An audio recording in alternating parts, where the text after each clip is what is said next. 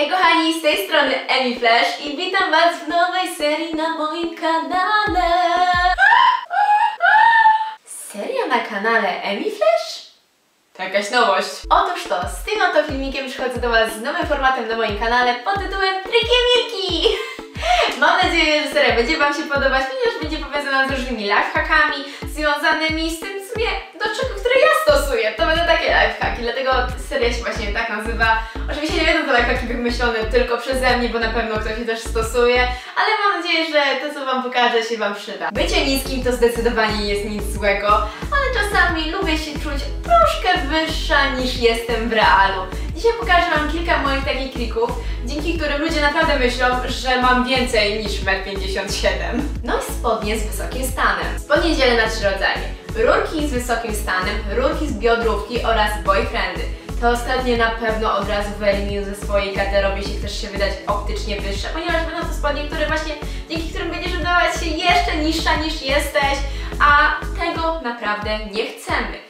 Jeśli chodzi o spodnie biodrówki, no to one nadają się zdecydowanie dla niskich osób, ale nie wyglądają w nich jakoś na wyższą, wtedy tylko po prostu na taki wzrost, jakim posiadamy. I jeśli, jest taka rada ode mnie, jeśli nosisz spodnie biodrówki, to koniecznie nie zakładaj do tego jakichś strasznie długich swetrów, ponieważ mogę Cię to strasznie skrócić. Jeśli chodzi o spodnie z wysokim stanem, to możesz sobie szaleć garderobą jak chcesz. Ja po prostu uwielbiam te spodnie za wszystko. Idealnie podkreślają kobiecą figurę, wydłużają nogi do nieba i jeszcze po prostu, mm, jakie one są wygodne. Naprawdę, nie rozumiem, nie rozumiem ludzi, którzy mówią, że te spodnie są niewygodne. One w ogóle nigdy mi nie spadają, ale tak właśnie nie jest z biodrówkami, które po prostu podciągać do góry, a tego nienawidzę. Na zdjęciach wysuwaj jedną nogę bardziej do przodu. Jak oszukać swoich obserwatorów, że masz nogi niczym Victoria's Secret Angels? To naprawdę proste. Wystarczy, że będziesz wysuwać jedną nogę nieco bardziej do przodu i podnosić jej biodro. Ponieważ dzięki temu Twoja noga będzie się wydawać niesamowicie długa, tak właśnie jak u modelek. A jakie są modelki? No oczywiście, że wysokie. Stawaj na zdjęciach na palcach. Kolejna rada dotycząca zdjęć. Wystarczy, że staniesz nieco troszkę bardziej na palcach, dzięki temu będziesz się wydać tak wysoka, jakbyś była na szpilkach. I wiecie, to może się wydać trochę śmieszne, bo jak można stawać na palcach, tak wiecie, na przykład na gołych, z gołymi stopami na zdjęciach. Nie wygląda to w sumie źle, sprawdziłam to, bo widziałam to w sumie w jednym filmiku się przyznam i chciałam przetestować to. Nawet nieźle się to prezentuje, sami ocencie. Sukienki, które odsłaniają kolana. Nosząc sukienki, które zakrywają kolana jeszcze bardziej siebie skracamy i wydajemy się na niższe niż jesteśmy w realu, a tego jeszcze w ogóle nie chcemy. Chodzi o to, że kiedy masz na przykład sukienkę, która na przykład zasłania Ci nieco kolana, najlepiej załóż sobie do tego jakiś pasek, tak jak ja zrobiłam w tym przypadku.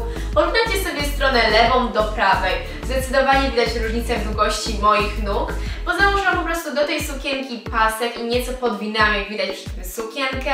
Co to, że w ogóle ta sukienka wygląda lepiej, kiedy jest podwinięta, niż kiedy jest taka po prostu bez paska. Noś buty z obcasem. Nie mówię tutaj o szpilkach, które są po prostu oczywiste i wydajemy się w nich po prostu super, mega, hiper modelkami, tylko takich butach, takich zwykłych do chodzenia. Porównajcie sobie na przykład zwykłe trampki z tymi moimi srebrnymi bucikami. Zdecydowanie wydaje się nich troszkę wyższe, ponieważ one mają taki mały obcas i chociaż o tyle, te 3 cm już ma 1,60 m. Jest!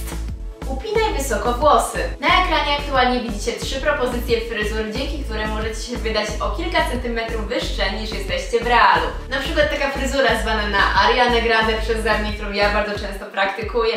Lubię ją, ponieważ sądzę, że właśnie dzięki temu mam w ogóle więcej włosów i chyba wydaje się troszkę wyższa niż jestem. Tak samo jest z takim kucykiem, oto już w ogóle zdecydowanie podwyższa. A jeśli chcecie naprawdę zaszaleć albo poczuć się jak baletnica, to proponuję takiego oto koczka. Ja szczerze mówiąc, przez 7 lat gimnastyki artystycznej już mi się go odechciało. Ciągle bluzka w ubraniu. Wracając do spodni z wysokim stanem, zwróćmy uwagę na górną garderobę. Ważne jest to, żeby nie zakrywać tych spodni, bo ponieważ nie będzie miało to wtedy w ogóle sensu.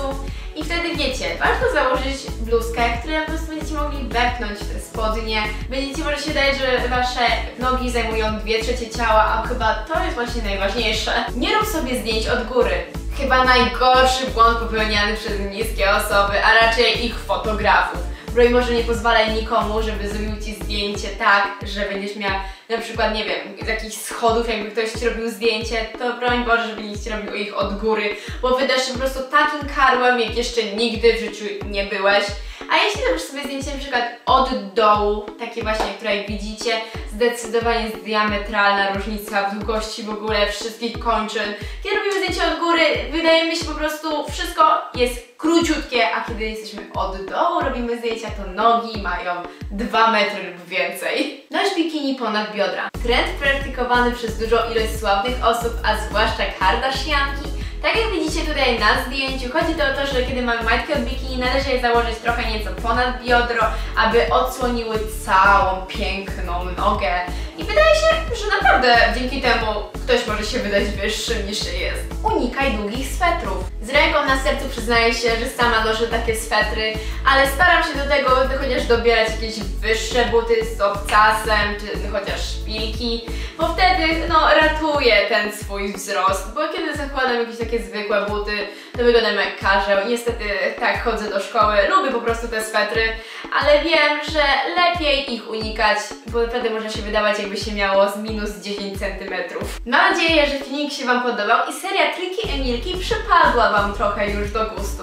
Napiszcie to mi koniecznie w komentarzach, muszę znać Waszą opinię na ten temat i koniecznie zostawcie jakieś łapki w górę, bo to strasznie mnie motywuje i słuchajcie, jeśli będzie 1500 łapek w górę pod tym filmikiem, to skakuję z kolejnym filmikiem, jak optycznie powiększam sobie usta. Mam nadzieję, że filmik się Wam podobał i się z Wami żegnam. No to pa pa!